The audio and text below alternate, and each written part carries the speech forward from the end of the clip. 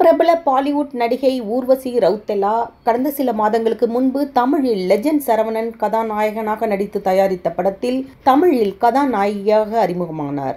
இரண்டாயிரத்தி பதிமூனில் பாலிவுட்டில் அறிமுகமான இவர் இப்பொழுது வரை கிட்டத்தட்ட பதினைந்து படங்கள் மட்டுமே நடித்திருக்கிறார்.